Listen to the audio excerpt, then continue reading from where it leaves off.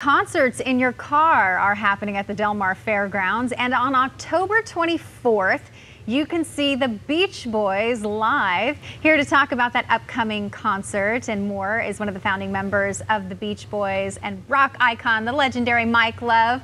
Good morning, Mike. Thanks for joining us. Good morning, Lauren. It's a pleasure to be on the program. I'm telling you, this is a great way to get the word out about the the concert in your car at the at the fairgrounds. Well, beautiful let me Mar. Let me tell you something. This California girl is excited about it. Already have tickets. I'll be in uh, one of the cars in the midsection there, shouting and singing along. So, what can what can we expect? All the all the traditional Beach Boy songs everything from surfing safari to Kokomo and a lot of things in between, like good vibrations and I get around and fun, fun, fun and help me, Rhonda. What what can I say? you know, there there's a lot of good ones, and this yeah, a lot of them. This yeah. was this was going to be a big year for for touring for you, and like so many others, uh, this pandemic has changed things. You've uh, found a way around it with these concerts in your car. I, did you already have one in Ventura? Did that already take no, place? we, you know, we're going to start on the Friday night in Ventura. Saturday, okay. the big night out is is the one at Del Mar. So that, and then we're heading over to Phoenix for Sunday. So we'll we'll be doing three shows, and and we're all excited about it because you know, being you know career musicians for 50 years, we really miss uh, doing shows with the audience. The audience se- seems to love our songs so much, and and it's so great to to see that happiness generated and, and doing what we love to do.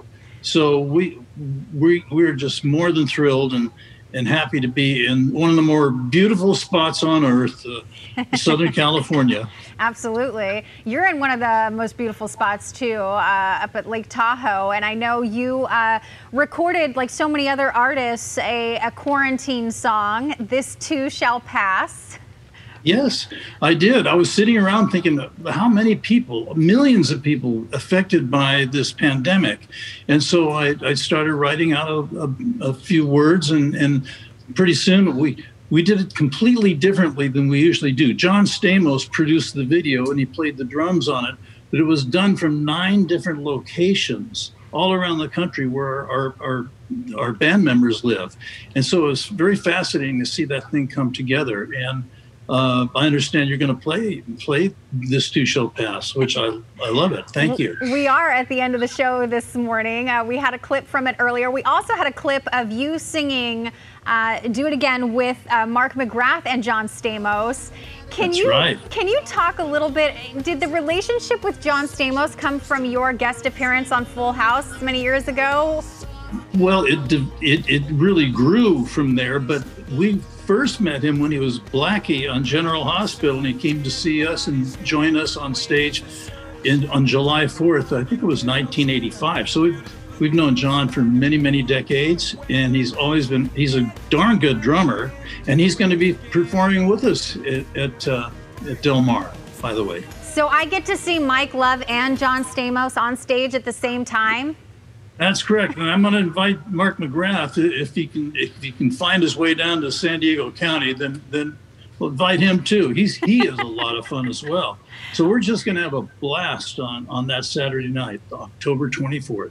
I'm so looking forward to it. I mean, uh, the Beach Boys. I, I wasn't. I wasn't around, Mike, uh, in in the heyday, but uh, my dad made me listen to the Beach Boys, and I just became a lifelong fan. I love all all the classics of the Beach Boys. I'm so excited to hear it. And I, I just, you know, of, of, all the awards and all the accolades uh, in this storied career you've had, is there anything that stands out for you? I just think the best thing of all is the the the, the way the audience loves to sing and party with us and and and and it just it just really is heartwarming to see multiple generations entire families come out you know the grandparents and their kids and the, and their children you know it's it's truly amazing and it's and it's a wonderful thing. The live music part of it has always been my favorite thing. All right well uh, if you if you see a blonde dancing on top of a car i'll be uh, i'll be dancing singing along so Okay, well, you'll be the honorary surfer girl then, right? I will be. I will be. You made me feel special as a young California girl. I felt I felt special because of California girls. So. Well, I'm sure everybody that's tuned in, tuning in, uh, thinks the same that you're special. And thank you for having us on the program and letting the word out about uh, October 24th. Well, we'll be there October 24th. Looking forward to it. Mike Love, thank you so much for joining us, taking the time. Really appreciate it. Thank you, Lauren. Bye bye. bye bye.